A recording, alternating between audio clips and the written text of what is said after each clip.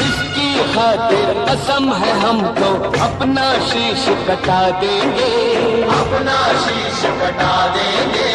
जितना भी इस जिस्म में बाकी सारा लहू बहा देंगे।